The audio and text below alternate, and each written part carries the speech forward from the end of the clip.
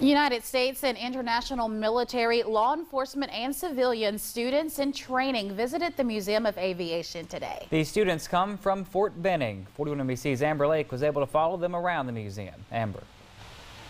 These students are attending the Command and General Staff Officer course at the Western Hemisphere Institute for Security Cooperation. These students are attending the Command and General Staff Officer course at the Western Hemisphere Institute for Security Cooperation.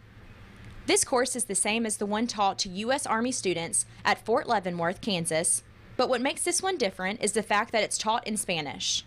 Coming to the Museum of Aviation, they can see uh, what, what our airmen were doing, in this case focusing on World War II, but there's a whole other perspective, a whole other way of, of fighting war that's, that's um, we think about a lot today with combined arms and so on, but, but it's just a wonderful perspective into history for them.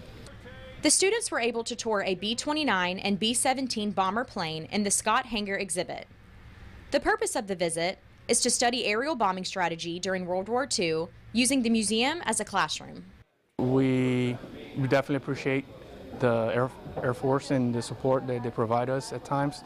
Um, but for the course that we are in, it's uh, very interesting to see the things that we are learning in the classroom and coming out here and touch the, the gear, basically. Most of these students are soldiers, so their main focus is on the ground. The tour is a good way for them to see what our airmen were doing and gain a different perspective on fighting war. Students attending the Institute come from countries throughout the Western Hemisphere. This is the third year the museum has done the tour. Thank you, Amber. Around 70 students from the Institute were there today.